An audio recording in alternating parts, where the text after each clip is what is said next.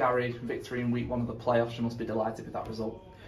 Yeah, um, absolutely. Yeah, it was a it's a tough one. We didn't start particularly well. You know, going behind to two tries to ones. I think the conditions had a lot to do with that.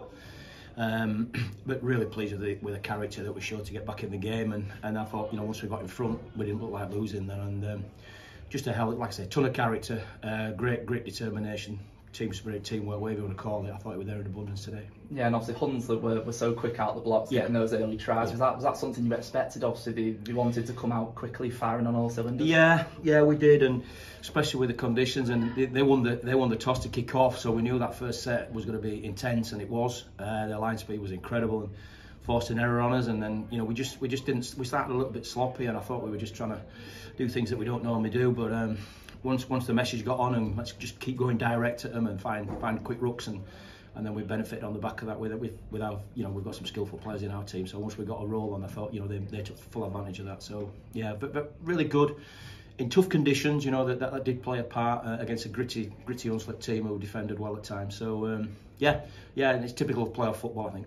Yeah you, you spoke about the conditions there. Obviously that that will have dictated to quite a large extent how how you had to play your game today. But even so, you, you did well shifting the ball out wide and obviously making some of those openings, especially down the, the left edge. Yeah, we did. You know, and, and like I said there earlier, we are a skillful team, and you know, Lewis on the, that left edge has had a fantastic season, but he's got a great partnership with, with Miles and, and with with with um, with Foz and, and, and, you know Luke. So that, that left edge has been a threat all season for us. So we wanted to carry on play. We don't, you know, obviously the conditions play a part, but we didn't want to stop how we play because that's that's how we play and um, and I didn't think you know I thought once we got to grips with that we, we, we did we did really well um, but I have a special mention mention to the bench I thought this, the middle, especially Killen and and, and Jordan, and uh, uh, they were they, they were superb. And uh, Dean Roberts, when they came off the bench, I thought they really changed the game in that first half, and that's that's how we got ourselves back in the football back in the game. And then, as I said, a lead that we never lost. Yeah, and obviously with, with the conditions being as they were, it, it really was a game for the game for the forwards, and, and mm. some of some of your men, the guys that you just mentioned, they, they grabbed the game by the scruff of the neck, didn't they? They did, yeah. yeah.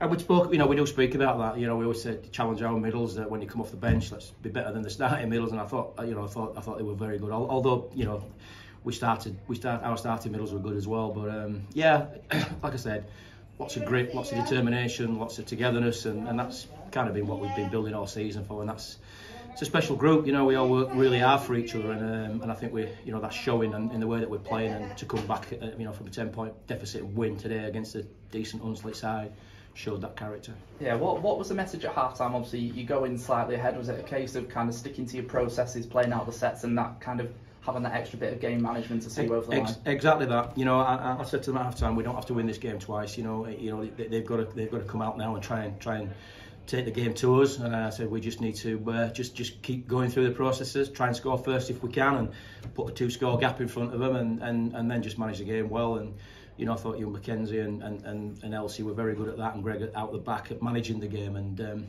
yeah, as I said, for 70 minutes, I thought we were very, very good. Uh, take that starting 10 out, we'll have to have a look at that, but I think we probably forced the issue a little bit too much there. But for 70 minutes, I thought we were good. Yeah, and a special word for McKenzie as well. Obviously, he came into the group obviously a little bit later in the season. He's, he's a young lad still learning his trade, but, but he did some really good things and he showed real maturity, especially towards the end with some of those kicks to touch. Absolutely, you know, he's been fantastic for us. He's coming, as you've rightly said there, he's coming to our group late and he's settled straight in.